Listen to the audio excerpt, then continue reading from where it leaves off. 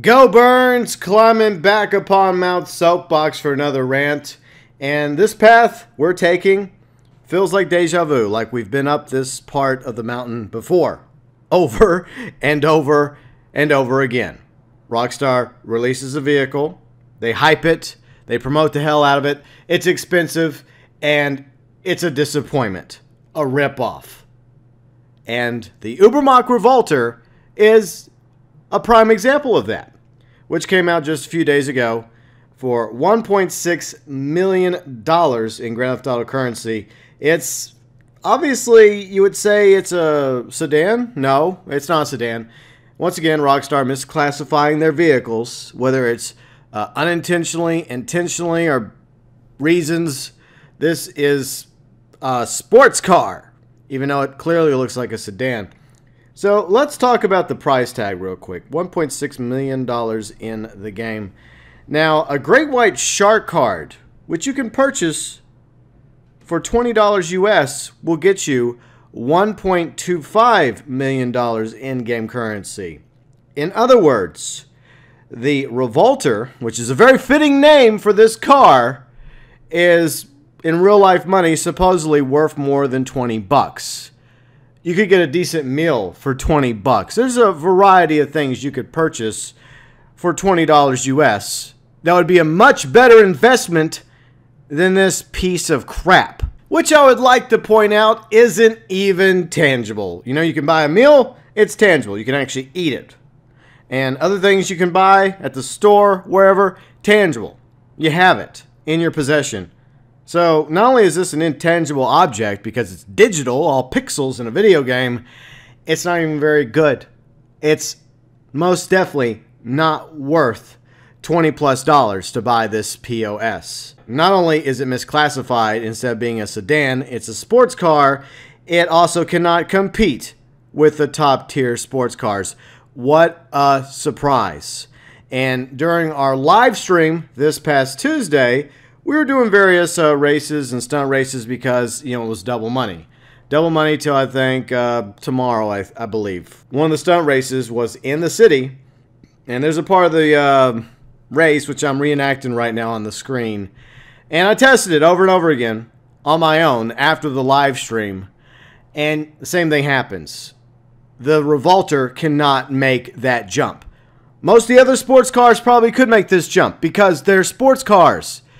The Revolter is obviously not a sports car. It's too heavy to be a sports car, and it's not fast enough to make that jump. Even though there's speed boosts that will ramp you all the way up in the hopes that you make it to the other side. Nope, not with the Revolter. I tried every trick. I tried flips. I tried barrel rolls. I went all the way back and I revved the engine up, and never once did I make it to the other side in this particular part of this stunt race in the city. Another reason why vehicles should be properly classified in this game, Rockstar.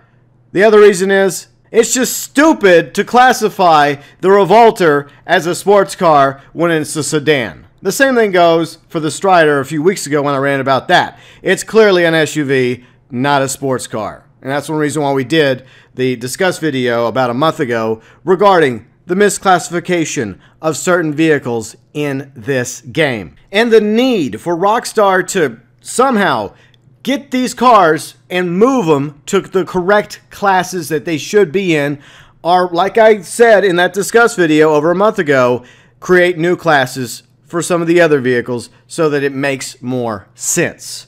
The other issue I don't like about the Revolter is for this $1.6 million price tag, you think it would come with some bells and whistles, some mods, some customization.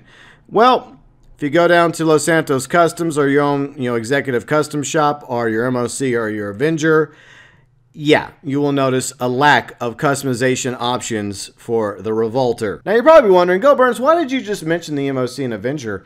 Like most average cars, you can't take in there to customize, only the weaponized cars. Well, guess what? This is one of those cars, along with the Ardent, Safari, Viseris, and Savestra, that you can add weapons to. Now, I've kind of thrown in the towel on this, you know, issue, but yes, you have to have an MOC or an Avenger, which means you need a bunker or a facility depending on which one you're going to go with, in order to put those $95,000 machine guns on the Revolter. It's the same gun. I mean, it doesn't do much damage at all.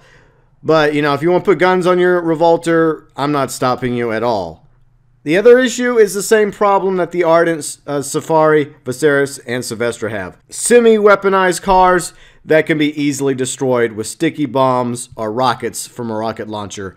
Only one rocket takes this car out. But once again, been there, done that with those previous cars I've already mentioned. I've kind of sort of given up on the whole notion of why Rockstar decides to put weapons on these cars now when they don't even bother to put any sort of armor buff to give us at least, you know, a little bit of, you know, protection when people are throwing sticky bombs or rockets at these cars.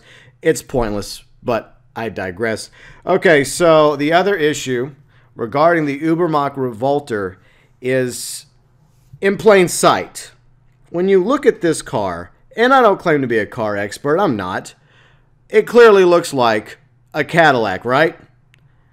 So why, Rockstar, did you put a vehicle that's obviously a Cadillac into the fictional brand Übermacht, which is actually based off BMW, instead of Albany?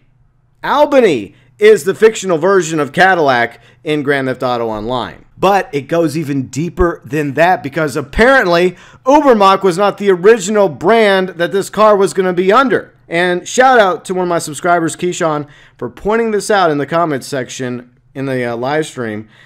Yeah, so if we take the camera of the uh, iFruit phone and we zoom in on the back, look beneath the Übermacht logo. You will see another logo. the Pfister logo, which is the fictional brand of Porsche. And the problem is also in the front. So we go to the front, zoom the camera in, and no joke, once again, beneath the Übermacht logo, Pfister. So originally, I guess the uh, whoever made this car had it set to be a Pfister Revolter.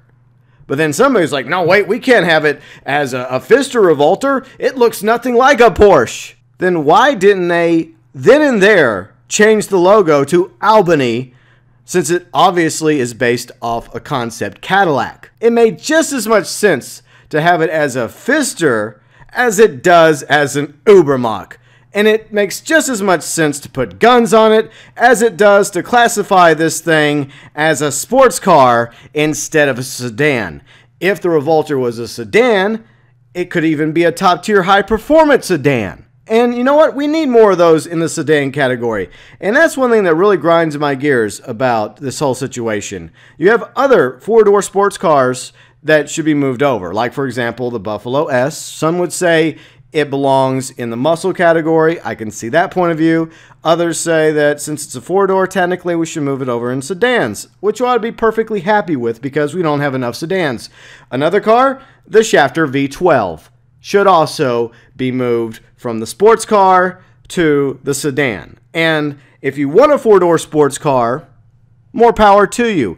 I would recommend getting the Shafter V12 instead, or the Buffalo S, or the Sprunk Buffalo. All those three options are better and cheaper than the Übermacht Revolter. Uh, some days I feel like Bill Murray in Groundhog Day. But if you have a rant suggestion for a future episode, be it about Grand Theft Auto, gaming, YouTube. As long as I have yet to do it, be sure and check the rant playlist first. Feel free and send your rant suggestion my way via the comment section, Twitter, Facebook, or Discord. All of my social media linked below in the description section.